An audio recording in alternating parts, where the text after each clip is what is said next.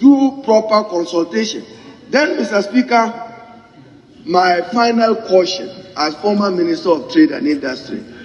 You may, by this legislation, be inviting retaliatory measures, retaliatory measures by other countries, be guided by it. Other countries may decide that you have said that, okay, I'm restricting import of rice and sugar. We will restrict the import of your processed cocoa into our trade regime. That will have consequences on the very balance of payment and export regime you want to regulate, particularly from the EU.